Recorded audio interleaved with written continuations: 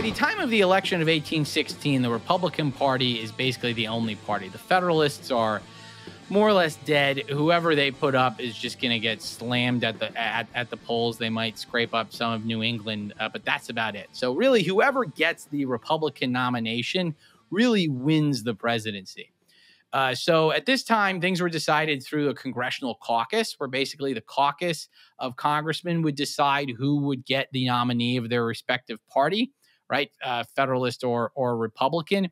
So the Republican contest was between the uh, was between James Monroe, a former anti-federalist who had really just become Madisonian, and William Crawford of Georgia. He was from Virginia. He moved to Georgia.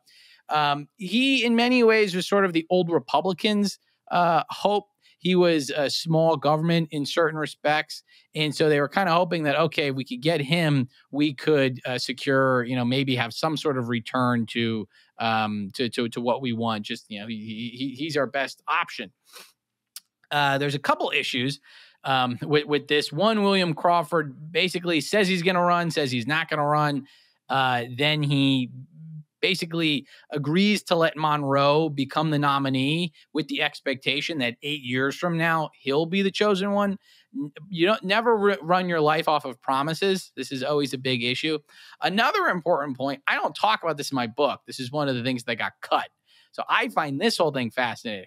So William Crawford was Secretary of War at this time, and right before the caucus, he announced uh, some sort of policy. He announced the policy with how to best deal with the the Indian question in the Southwest at this time period. You know, the Southwest, Western Georgia, Alabama, Mississippi, you know, parts of Tennessee, you know, around this part. So he said we were getting these issues uh, we're, we're, getting these problems where settlers are getting into fights with, uh, with with Indians over land ownership and all of this stuff. That's a fascinating story. So William Crawford's solution was he said, well, um, he takes a very like progressive response. He says we should just engage in interracial marriage. Like that's the way we resolve these conflicts. We'll just marry. We'll just marry the Indians. And his his rationale is is really funny because he says, look, we're already letting in all of these immigrants from Europe. He's referring to Irish people. So he's like, we're, we're marrying the Irish. We might as well marry the Indians, right? Like that's the, the solution. And Crawford has this this proposal that like just mortifies people in Virginia. They're like, what? So that was one reason why uh, the tail end he basically did not get the nominee in in the in the caucus was he sort of sabotages himself with this perfectly reasonable plan uh, that's just like it's just it's it's just way too far ahead for the year 1816. Uh, but yeah, there's no Crawford, and then we get stuck with Monroe, which is kind of unfortunate. But I, I, I have always been a Crawford fan.